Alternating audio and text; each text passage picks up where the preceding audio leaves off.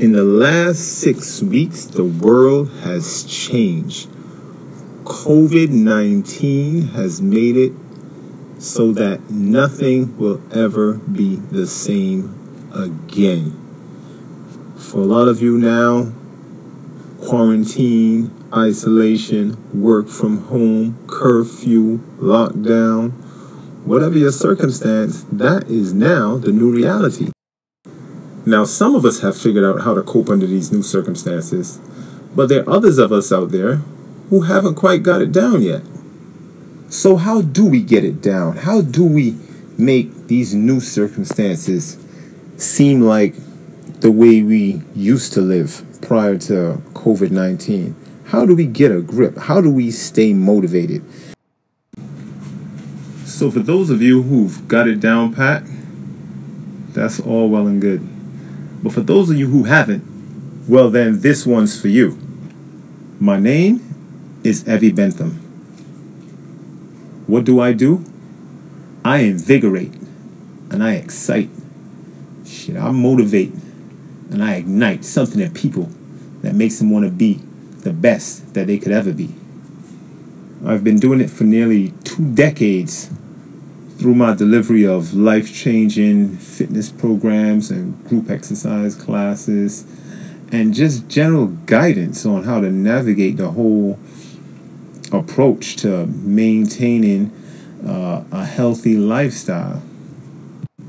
So, everybody now is trying to find a way to keep themselves motivated in the COVID 19 scheme of things, myself included. And for me, I've decided that the way I'm going to stay motivated is by motivating others. So today, I just want to talk about staying motivated on your fitness journey. So, if your normal routine was get up in the morning, hit the gym at 5 or 6 o'clock in the morning, and then head to work, come home, interact with your family, sleep, and then repeat it the next day.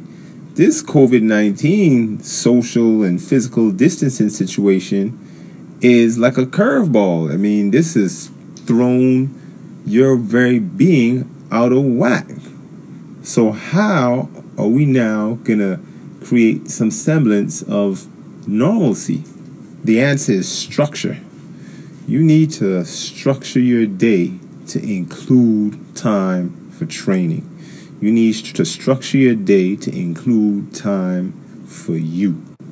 Anybody that knows me knows that I do not like to train at home. I work in the gym. I like to train in the gym. That's where I like to do it. When I come home, I want to just relax. I want to sit back. I don't want to do a whole lot. I'm a totally different person at home than I am in the gym. I'm a lot quieter.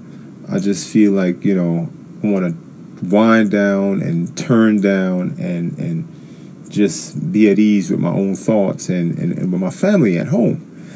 You know, I would come home sometimes and, and my wife would be training in the bedroom and I'd open the door and I'd look and she'd be in there doing burpees and shit. And I'm like, you know, you work in the gym too.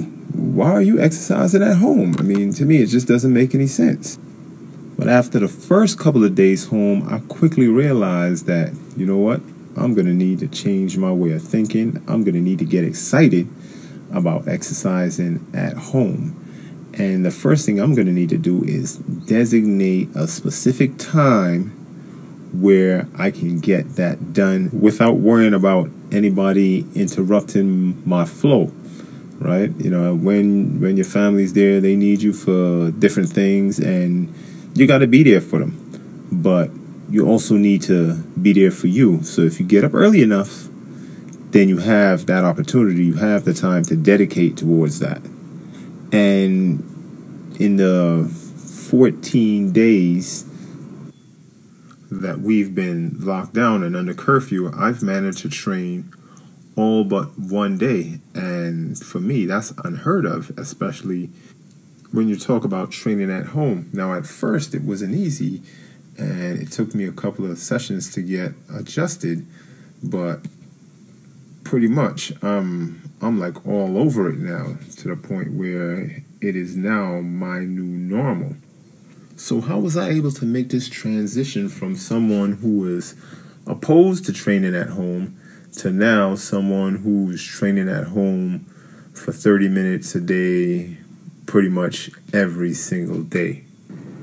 Tony Robbins once said in, in one of his motivational talks that human beings absolutely follow through on things that are consistent with who they believe they are. So for me, it was inevitable that I come up with a solution. For some of you, it might not be that easy. I'm a fitness professional as well as a fitness enthusiast.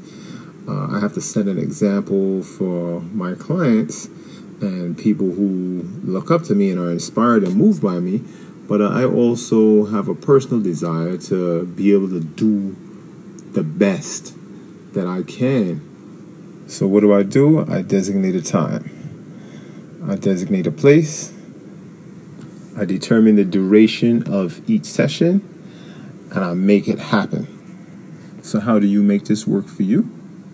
Do the same thing designate a time, designate a place, determine the duration, determine how many times a week you want to exercise, and you make it happen. I don't expect that you're going to do it as much as m- me, but you determine your threshold. You determine how much a part of you being as healthy as you want to be and being as fit as you want to be really is.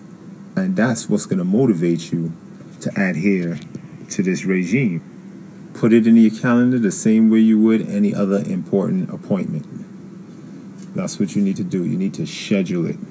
That's what's going to make it real. That's what's going to make it happen. Schedule it and stick to it. Schedule it and stick to it. Schedule it and stick to it. Do I need to say it again? That's what's going to make it happen. So now, when my wife looks out on the back porch and she sees me out there getting it in, she's shaking her head and wondering what's gotten into me because now the roles are reversed and I'm exercising more now at home than she used to, or currently does, for that matter. For further assistance with this and any other fitness related matters, drop a line to wukupworkout at gmail.com.